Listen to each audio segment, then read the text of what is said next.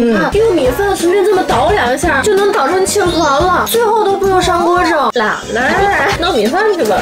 哎，看了吗？我这米饭，你打吧。加油，加油！净给我找事儿。我来吧。你快打给我。又强了，这回。不不用，用不上吧？我真的会酸屁。真的变粘了好多，现在可以拉出来，这么臭能撕了。撒一点艾草粉儿，再来点甜甜蜜蜜。小时候玩过泥巴吗？就找着那种感觉，和个泥儿。